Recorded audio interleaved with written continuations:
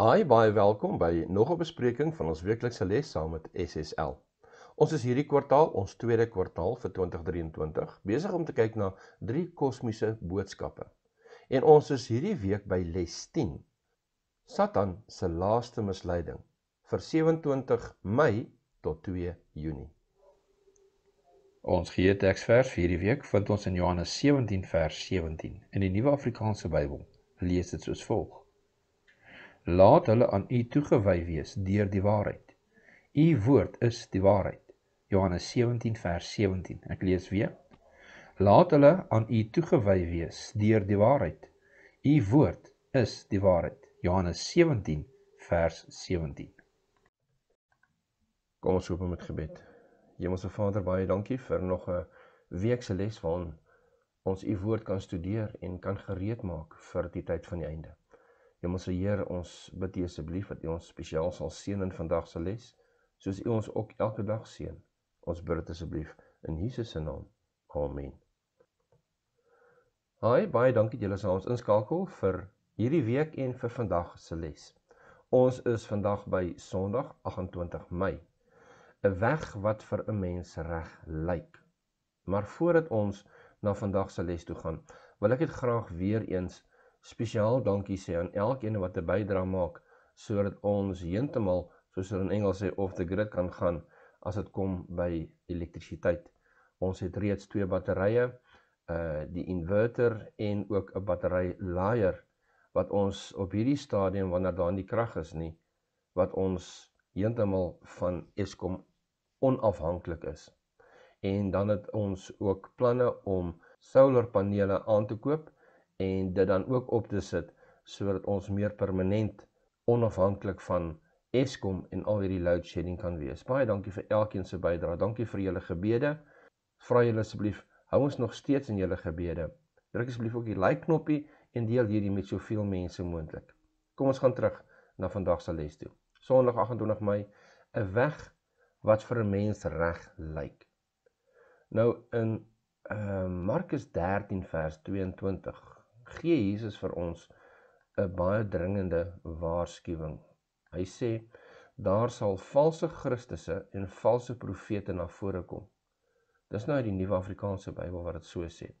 En hulle sal tekens en wonderwerke doen om as dit moontlik was die uitverkorenes te mislei. Die, die ou vertaling sê selfs die uitverkorenes te mislei.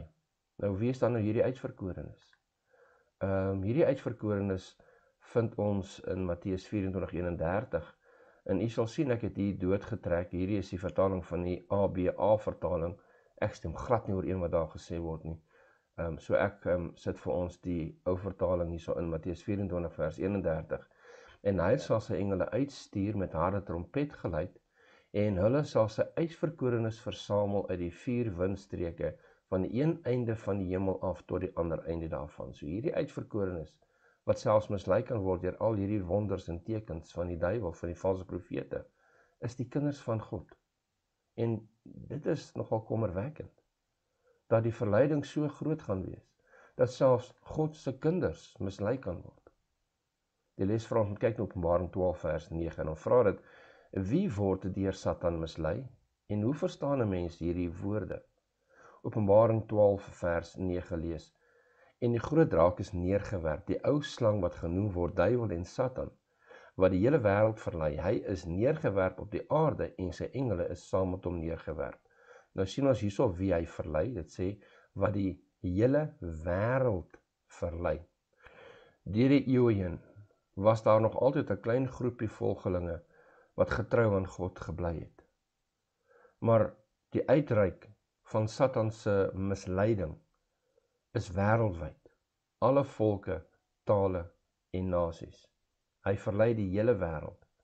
Maar tussen daai volke, tale en nasies is daar 'n klein groepie volgelinge wat kies om getrou te bly. Geen wonder die boodskap gaan dan na alle volke, tale en nasies sodat hierdie misleiding van die duiwel geopenbaar kan word en die mense van God nie mislei sal word nie. Die les vra ons ook kyk na Spreuke 14 vers 12, dan vra dit watter kragtige waarskuwing word hier deurgegee. Spreuke 14 vers 12 sê: Daar is 'n weg wat vir 'n mens reg lyk, maar die einde daarvan is weë van die dood. En dit is nou ons opskrif vir vandag se les, né? Wat sê 'n weg wat vir 'n mens reg gelyk en dit kom juis van hierdie Spreuke 14 vers 12. Daar is 'n weg wat vir 'n mens reg gelyk, maar die einde daarvan is weë van die dood. Nou daar word gereken dat 'n mens jou eie gewete kan volg. En dan deur jou eie gewete wat jou gewete vir jou sê, so kan jy bepaal wat reg en verkeerd is, wat goed en wat kwaad is. Maar wat sê die skrif? Die skrif sê eintlik die teenoorgestelde want Jeremia 17 vers 9 sê dit bedrieglik is die hart bo alle dinge. Ja, verdorwe is dit, wie kan dit ken? Ons kan nie ons hart vertrou nie. Ons is almal sondaars. As ons gaan staat maak op ons eie insigte, dan kan ons maar verseker wees dat ons op een of ander tyd verkeerd gaan redeneer en verkeerd gaan optree.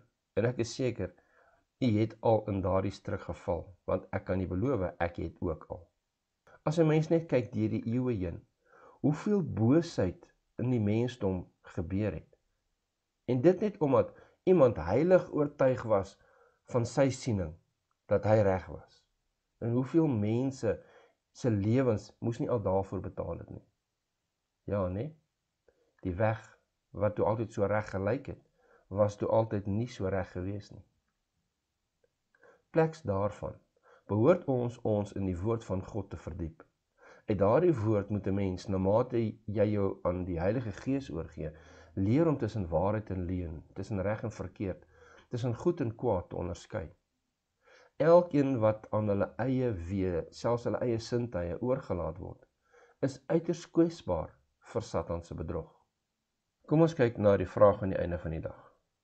Dit lees: Dink aan voorbeelde van mense wat hulle eie koppe gevolg het, oortuig dat hulle reg was of dat dit selfs die wil van God was, maar wat uiteindelik bose dinge aangevang het.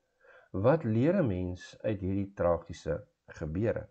Nou ons het 'n voorbeeld in ons eie land en ons baie voorbeelde. Net een voorbeeld is waar ehm um, Shaka Zulu heeltemal van sy kop af geraak het en begin het om mense net links en regs te vermoor. Was dit nie vir sy broer wat hom as ek dit so kan stel uitgehaal het nie?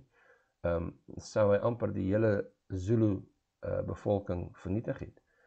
So ehm um, deel met ons ook gevalle wat wat wat u aan kan dink in die geskiedenis wat hulle eie koppe gevolg het en geglo het hulle is reg en wat die gevolge was.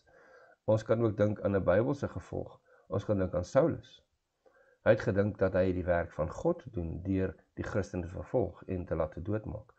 Maar toe het God hom blind gemaak sodat hy kan sien. En 'n pragtige verhaal daarin van waar God iemand wat sulke dinge gedoen het teruggebring het. En dit is vandag nog moontlik. Die Here kan enigiemand bereik as hy net bereid is om te luister na sy woord. En dit is nou juist die punt hierdie. Ons moet luister na God se woord. Kyk hoe mooi word hierso gestel in Spreuke 3 vers 5 tot 8. Vertrou op die Here met jou hele hart en steun nie op jou eie insig nie. Ken hom in al jou weë, dan sal hy jou paai gelyk maak. Wees nie wys in jou eie oë nie. Vrees die Here en wyk af van die kwaad. Dit sal genesing wees vir jou liggaam en verkwikking vir jou gebeente. Ons weet dat Psalm 119 vers 105 ook sê: "U woord is 'n lamp vir my voet en 'n lig vir my pad." Daar is ons standaard. Daar is ons bloudruk vir die standaard van die lewe, die woord van God. Kom ons bid saam. Hemelse Vader, baie dankie vir vandag se les. Help ons Here asseblief om geanker te wees in u woord sodat ons nie mislei kan word as gevolg van 'n tekort van kennis nie so die duiwel met sy verleidings ons nie rad vir die oë kan draai nie. Hemelse Vader, wees asseblief met elkeen wat hier luister. Gee Here asseblief dat hierdie boodskap sal uitgaan na soveel mense as moontlik sodat die duiwel se vervalsings geopenbaar kan word. Ons bid dit Vader asseblief in Jesus se naam. Amen. Baie dankie dat julle ons ingeskakel het vir vandag se les en weer eens dankie vir elkeen se bydrae. Baie dankie vir julle gebede, die duimsel knoppie wat julle druk en die wat julle deel met ander. Tot volgende keer, God se ryke seën.